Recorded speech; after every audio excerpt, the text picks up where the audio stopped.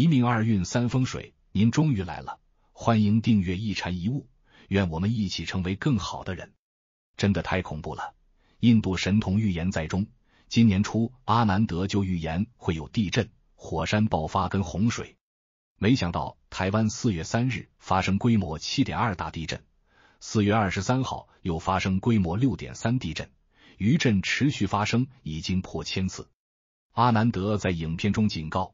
早就警告，持续会有地震、洪水、火山爆发等天灾发生，还有要小心各国各有心机，毁灭性武器测试跟地缘政治的冲突发生。注意五月，小心十件事。印度神童预言的原政治冲突持续在苏俄对乌克兰、以色列对哈马斯对伊朗、南韩对北韩、台湾对中国、中国对美国等地发生。阿南德说，这是属于人为因素的部分。祈祷善良无辜人们的祈祷，能让握有政治权力的人能真心为世界和平与人类福祉卖力。但是，根据星象显示，天灾的部分全人类都要注意。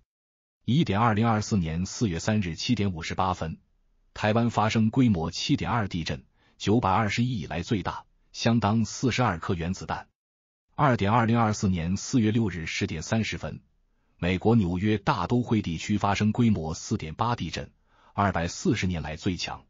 三点二零二四年四月八日十点二十五分，日本发生地震，震央位于北纬三十一点六度，东经一百三十一点五深度四十公里。四点二零二四年四月十六日，冰岛雷克雅内斯半岛火山当地时间再度爆发，这是自二月八日以来又一次大规模喷发。五点二零二四年四月十六日。印尼卢阳火山爆发。六点，二零二四年四月十九日，阿拉伯联合大公国暴雨成灾，杜拜淹水，打乱国际机场运作，上千航班取消。七点，二零二四年四月二十一日，央视报道，广东遭逢千年一遇洪水。四月二十二日，全区中小学校、幼儿园停课一天。八点，二零二四年四月二十三日，台湾花莲发生规模六点三地震。根据气象局资料，四月三日七点二大地震后，余震破千起，规模四以上的地震突破三百次。四月二十二日傍晚十七时零八分起，花莲县开始一连串地震，规模最大落在凌晨二点三十二分四十九秒，瑞士规模六点三，导致台十一线大量落石，统帅大楼以及富海大饭店倾斜。四月日全食加火星、木星。月球与拉胡大河向地球受负面能量包围。印度神童表示，不能忽略星象带给地球的影响。四月有日全食火星、木星、月球与拉胡大合相，持续让地球受到负面能量包围，天灾、地震、人祸、食安、疾病不断，提醒台湾、美国、中国、日本等世界国家注意十件事：一、气候危机，恐怖高温、洪水。干旱、火山爆发、地震持续在各地发生。科学家警告称，二零二四年可能更热。根据数据显示，二零二三年目前是人类有记录以来最热的一年，打破了之前的记录，也打破了许多气候科学家的预期。而科学家警告，二零二四年的气候情况可能会更糟。受到持续的厄尔尼诺天气模式，及温暖的海水涌入东部热带太平洋。已进入了第二年，这些因素和其他因素表明，随着人类继续向大气中排放温室气体，二零二四年可能会出现比二零二三年更多的极端天气和气候影响。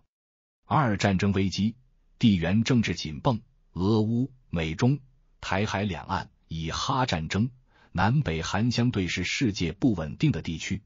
亚洲今年也是一个高危年。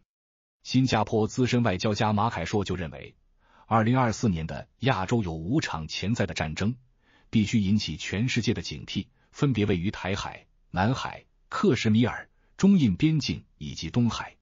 三、通膨危机，经济问题处理不当，通货膨胀危机的负面影响是全面性的。阿南德告诉人们，想要应对经济危机，购买黄金资产是最有效的途径。不管美元升值还是贬值，不管全球经济如何发展，黄金都是人类认同的贵重金属。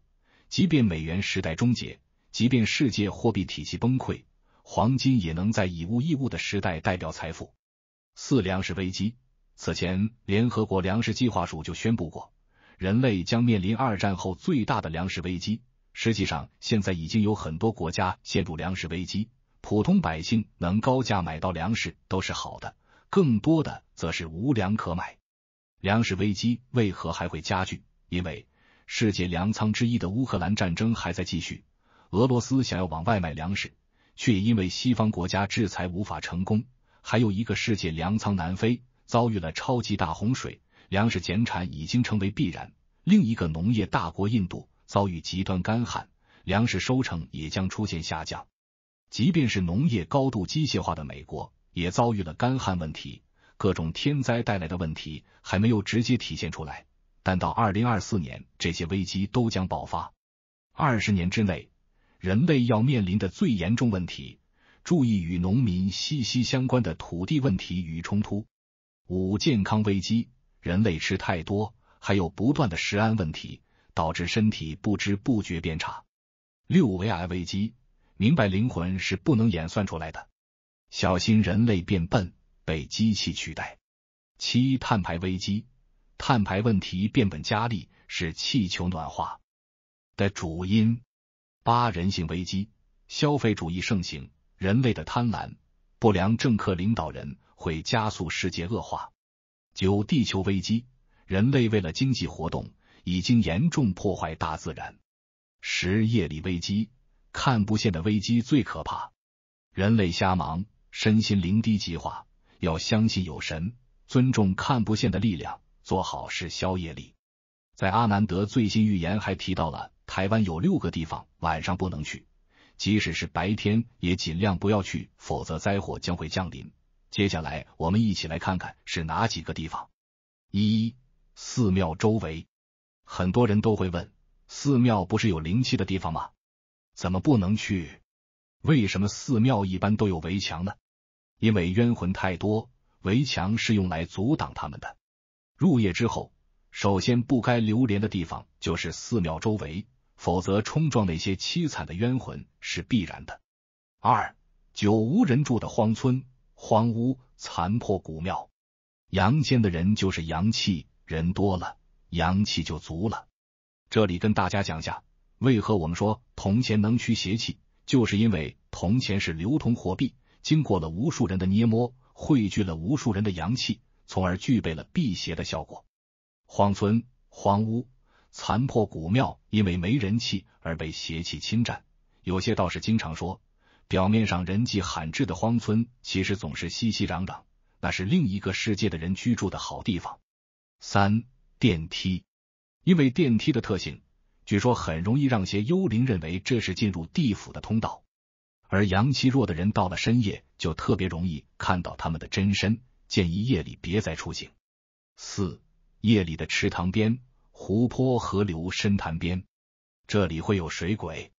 民间传说人意外死亡而不能投胎转世，便留下灵魂来害人，做他的替死鬼。水鬼在白天都容易出来抓替死鬼，因为阳光在水里的影响力并不大，到了夜里就更容易了。五、地下停车场、地表之下的通道，深夜的时候。都尽量别走，这个和电梯的说法有点类似。很多凶杀案都在这些阴气十足的地方产生，也不无道理。六、医院周围，医院是个救死扶伤的地方，但同样是和平时期死人最多的地方。很多医院会有设置太平间，这是一个阴气十足的地方。身体弱的人切记不可深夜在这些地方走动。因为在这里撞到一些另一个世界的人是太稀松平常的事，收魂的和被收魂的都太集中了，特别是住院待产的孕妇，半夜更别在医院周围溜达，谨记。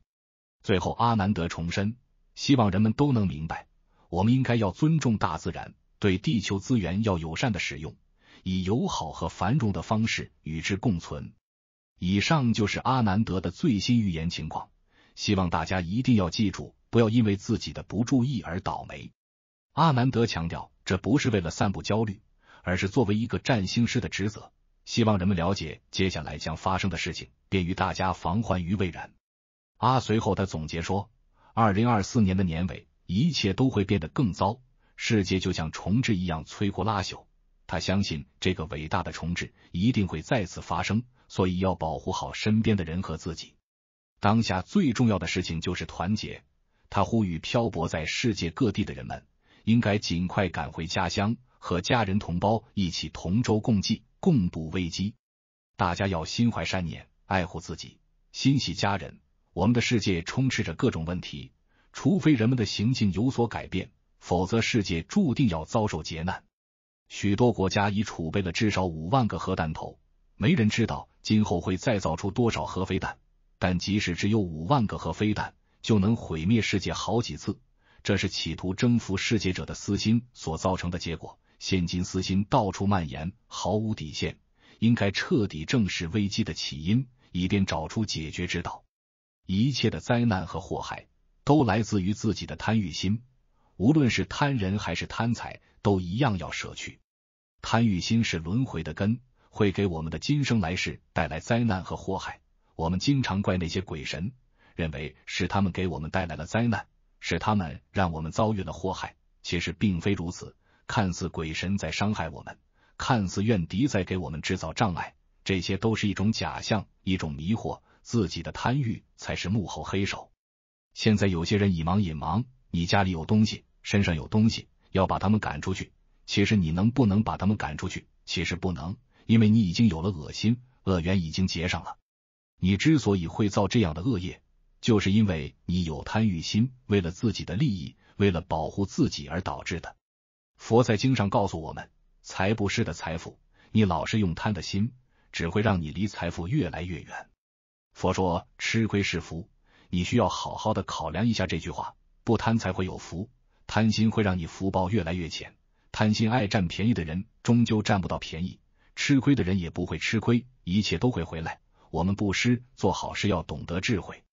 古人教我们，吃亏是福，占便宜不是福报，占便宜是祸。是灾祸。如果对于因果报应通达明了，你就绝对不会起心动念去占人便宜。遇到厉害，害我要承担，利让给别人，好事给别人，坏事自己承担，这真正积功累德。吃过的亏是以后的福，占的便宜是以后的苦，千万不能有占便宜的念头。贪的一点便宜，需要更多的财富去偿还。做人要学会吃亏，学会布施。人都是有欲望的。欲望并不是什么丑恶的东西，好的欲望能让人斗志昂扬，在逆境之中坚持，在顺境之中冷静。可是，一旦欲望过了界，本性就可能会被黑暗吞噬，最后可能会招来灾祸。有时候，越贪执于财富，越会引来无穷无尽的烦恼。我们见过很多富人活得揣揣不安，每天思考怎样获得更多金钱，或是害怕自己的财产不安全；也有很多穷人，虽然活得捉襟见肘。但是每天很安心，拥有一些最普通的快乐和梦想。炫耀财富不是明智之举。金钱有时给我们带来的不是快乐，而是烦恼。人生在世，折磨我们的不一定是贫穷，而是无止境的欲望。佛说因缘和合，一切有为法，该是你的就是你的，不是你的给了你，不一定是好处，反而是祸端。贪婪的东西会以另外一种方式失去。而失去的远远比贪求的多，贪求的多了，你的祸患就跟着你。这也就是人间常说的破财消灾，贪来的早晚都要还。一个人的财运没那么好，很多时候是因为贪得无厌，得到了总是不满足，还想得到更多，所以才会不开心，才会觉得自己财运不好。所以佛祖教导我们不要贪心，要无私大爱，如此就可以否极泰来。今天就分享到这里。好的风水在人心，感谢您的观看，不要忘了点点赞或订阅，您的支持是我最大的动力。